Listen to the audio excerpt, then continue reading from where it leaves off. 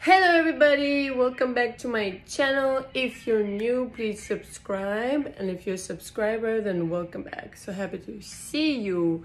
Today we're making a video on this Lola latex bikini. It is absolutely fabulous. I love it so much. I thought I would be afraid to put it on, but once I did, it was like, you know what? I'm just gonna like stay all day in it. And uh drink margaritas and uh, dance till the morning.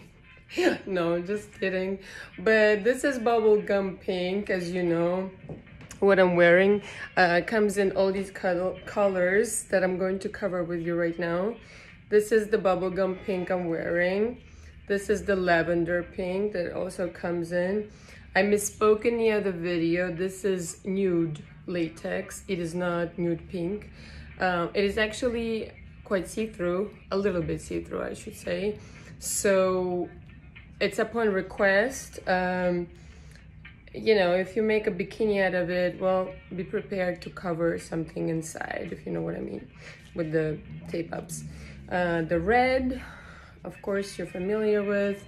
The black, uh, the platinum as well, and the antique gold.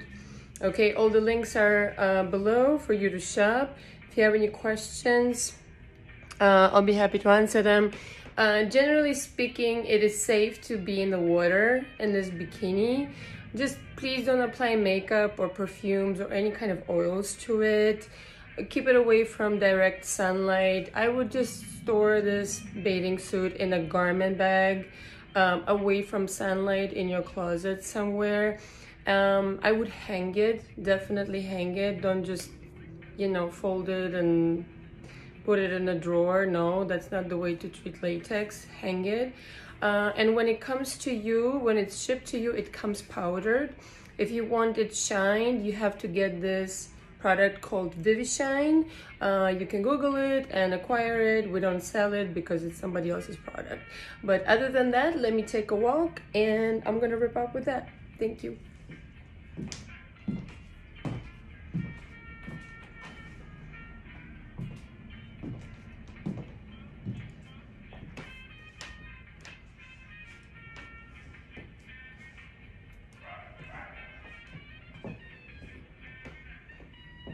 It's very comfortable. It has ties up here, ties here and on top.